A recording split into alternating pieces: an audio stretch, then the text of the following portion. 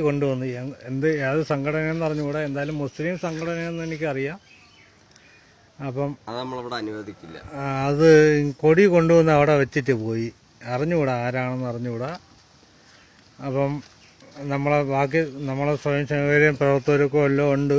അപ്പം നമ്മളങ്ങനെ നമ്മളത് ഒരു നമ്മളെ ഒരു അനുഭവം കാണിക്കുന്നതല്ല. കത്തിച്ച് പൊക്കി ചെയ്യണം കത്തി പിടിക്കില്ല അപ്പം അത് യാത് യാത് രാഷ്ട്രീയക്കാരായിരുന്നാലും യാത് സംഘടനയായിരുന്നാലും ചെയ്ത തെറ്റ് തന്നെയാണ്.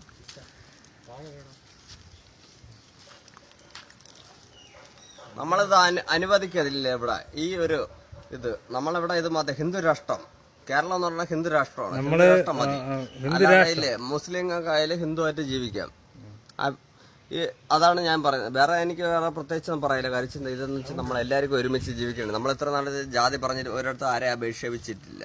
ആക്ഷേപിച്ചിട്ടില്ല അത് നമുക്ക് ഇനിയും സംഘസ്ഥാനിൽ കൊണ്ട് വന്നുകൊണ്ടാണ് നമ്മൾ അങ്ങനെ അത് അങ്ങനെ ചെയ്യുന്നത്. ഇതൊരു ആര് കാണാത്ത ഇങ്ങോട്ട് ആരും കാണാത്തൊരു കൊടിയാണ്.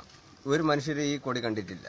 ഇത് പുതിയൊരു സംഘടന. എന്താ വെച്ചാൽ ആരെ ആക്ഷേപിക്കാൻ പറ്റില്ല. അത് ഞങ്ങൾ ഇത് മലപ്പുറത്തും അങ്ങോട്ടൊക്കെയാണ് ഇത് കൊടി പോലും കണ്ടില്ല ഈ പച്ച കൊടി കണ്ടുകൊണ്ടാണ് നമ്മൾ അതെ ഒരു പ്രത്യേക തരം വെറൈറ്റി കൊടിയാണ്. കരിച്ചാൽ പേര് എഴുതിയിരിക്കണം വേറെ എം എസ് എഫ് എന്ന് എഴുതിയിരിക്കണം. M S F. അതെന്ന് വെച്ചാൽ എനിക്ക് ഈ പാകിസ്ഥാനുമായിട്ട് ബന്ധമുള്ള ഏതൊരു സംഘടനയായിട്ടുള്ള ഒരു പരിപാടിയാണെന്നാണ് എനിക്ക് ബലമായ ഡൗട്ട് അതാണ് ഞാൻ മെയിനായിട്ട് ഈ ലൈവ് വരാൻ കാരണം.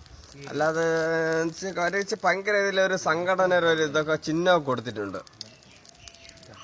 നമുക്ക് കേരളം മതി. കേരളം ആകുമ്പോൾ മുസ്ലിങ്ങളും വണ്ടി എടുക്കില്ല കഷ്ടപ്പെട്ട ആ വണ്ടി എടുക്കും. പിന്നെ എന്നെ എടുത്താൽ മതി